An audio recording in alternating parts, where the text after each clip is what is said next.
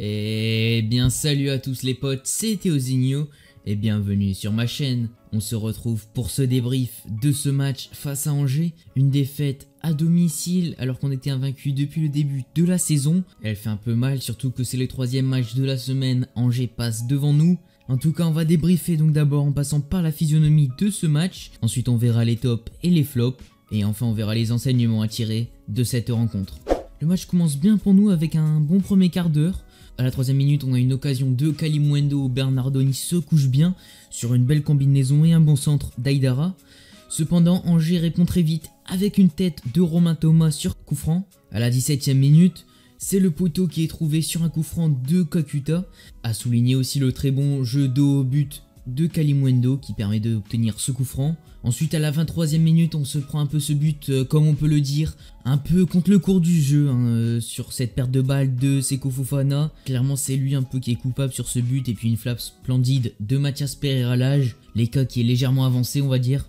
Ensuite Angers va être menaçant hein, jusqu'à notre but à la 34e minute de Kalimuendo euh, sur une difficile reprise hein, il faut souligner mais aussi le très bon centre de Kakuta, je sais pas si c'est un tir, en, tout cas sa patte droite pour mettre ce ballon là, franchement il faut le souligner hein, parce que c'est un très bon ballon qu'il lui met et Kalimundo aussi fait un très beau geste. En tout cas jusqu'à la mi-temps on va avoir la possession de balle, on va faire courir les Angevins. Cependant au retour des vestiaires on a une grosse alerte de Jimmy Cabot à la 48e minute, Medina est totalement à la rue. Et puis ensuite il y a ce 2-1 à la 49e minute, sur ce corner où on est totalement spectateur, hein, Medina lâche le marquage, Doucouré du coup ne peut pas derrière euh, s'adapter. Et c'est Bauken donc qui marque sur cette talonnade. À moment donné, je pense que voilà, en professionnel, tu peux pas te prendre un but comme ça. En tout cas, le trio offensif d'Angers nous fait très mal, hein, ce trio infernal que j'avais d'ailleurs souligné dans l'avant-match avec Pereira Lage et Cabot. Ensuite, à la 60e minute, il va y avoir un passage à 4 derrière de notre part. À la 63e minute, il va y avoir un peu un tir manqué de Fofana dont il faut absolument conclure. Et puis ensuite, ben, bien sûr, à la fin, il y a ce but euh, en contre-attaque à la qui est anecdotique, hein, à la 89e minute, je crois. On aura poussé jusqu'à la fin, malheureusement sans grande réussite. Il nous aura manqué quelque chose dans les dernières passes et dans le dernier geste. Donc maintenant, on va passer au top et au flop en commençant par les tops. Et ce sera le joueur angevin, le numéro 10, Angelo Fulgini, qui nous a fait très mal hein, sur le match. Il n'a pas marqué aujourd'hui, mais en tout cas c'est lui hein, qui a amené principalement le danger, qui faisait les passes dangereuses, qui faisait les conservations de ballon et qui obtenait de précieuses fautes. Ensuite, côté Lançois, oui, on va en souligner un, c'est Arnaud Kalimuendo, hein, le jeune Lançois de 18 ans. Il est quand même assez impressionnant, il faut le dire. Son but, euh, encore une fois, son deuxième, il a été très remuant. Voilà, il, il y a un tir qui est manqué de sa part en première période, mais globalement, ça a été le meilleur attaquant d'aujourd'hui. Donc en voilà pour les deux tops de cette rencontre. Maintenant, passons au flop, où bien sûr, ce sera deux joueurs lensois. Le premier, ce sera Facundo Medina, qui est encore touché, je pense, par la mort de Diego Armando Maradona. Euh, il n'a pas été dans son match aujourd'hui.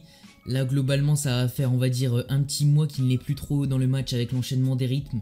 Les voyages en Argentine, sur la grosse occasion de Cabo et sur le corner, il doit être beaucoup plus agressif et au marquage. Le second flop, ce sera la recrue la plus chère de notre histoire, c'est Seko Fofana, qui aujourd'hui n'a pas été au rendez-vous, hein, il faut le dire. Il est à l'origine de la perte de ballon sur le premier but d'Angers. Euh, il vendange une grosse occasion à l'entrée de la surface sur un bon service de check de Gouré. Globalement, il aura perdu énormément de ballons. Puis, je sais pas, pour moi, dans ce 3-5-2, il n'est pas forcément trop à l'aise. Hein. Euh, on voit que quand il reçoit le ballon dans les pieds, il n'a pas été euh, forcément trop transcendant aujourd'hui. Enfin voilà, il lui manquait quelque chose comme une part de l'équipe et tout comme euh, Facundo Medina. Donc en voilà pour les flops. Maintenant, on va passer aux enseignements à tirer de cette rencontre. Le premier, c'est que les erreurs et les tirs ratés, ben voilà, ça se pécache. Angers a eu bien sûr plus d'occasions, mais au final, ça se joue encore euh, quand même à kiff kiff niveau tir, on va dire. Malheureusement, voilà, tu mets pas le but, ben derrière tu te prends et ça se paie. Le deuxième enseignement, je vais faire tout en deux. C'est le troisième match de la semaine hein, qui fait mal. On voyait un Kakuta qui est obligé de sortir à la 65e minute. Physiquement, tout le monde euh, commençait un peu à sombrer. On se prend euh, ce but en contre-attaque parce que pas grand monde arrive à revenir. Pareil, Sotoka devant commençait à souffrir. Donc voilà, même les changements au final, ils ont pas tellement apporté de la fraîcheur. Donc euh, voilà, enfin une semaine de récup. Et maintenant, il faudra bien récupérer pendant une semaine pour partir à Rennes et essayer de faire un résultat là-bas. Donc en voilà les gars pour cette vidéo. J'espère qu'elle vous aura plu. Vous pouvez mettre un pouce bleu et vous abonner. Moi je vous dis à plus dans une prochaine vidéo. C'était Théozinho. Allez, salut et allez lance